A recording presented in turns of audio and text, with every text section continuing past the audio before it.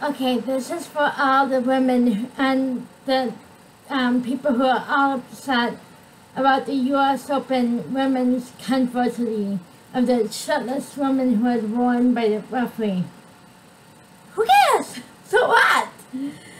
It's a bullshit. Controversy. Again.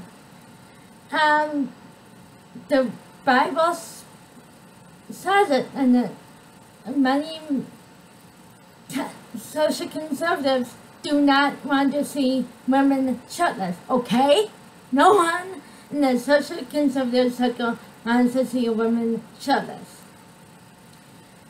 Men shouldn't be shirtless either, but who cares? If they're good looking and sexy and not old and pimply and wrinkled like the old man who um, did my newspaper delivery.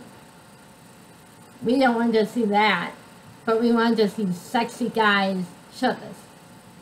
Women, yeah, the, the woman who changed her um, shirt in Man of the Match sports bra, fine, whatever. And she turned around. No big deal. You didn't see her half naked front. So, it's okay, I guess. But social conservatives and Bibles, and if you remember the Super Bowl conver- con, con, problem with um, Janet Jackson, you know why we don't want to see shirtless women during matches. You guys need to all grow up and wake up to society's moral um, responsibility, moral standards.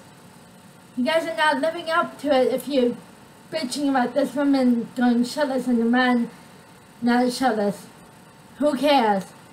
As long as we find more code, good. And the uh, women marchers and the snowflakes in that march, feminists, again, we don't want to see naked women. It's not morally right, and we do not want to see it. Idiots, snowflakes, cupcakes, shut the hell up.